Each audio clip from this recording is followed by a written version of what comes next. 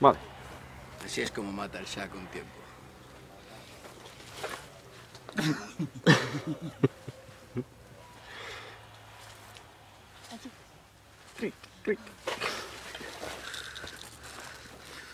Ya sabes. Uy, qué malote.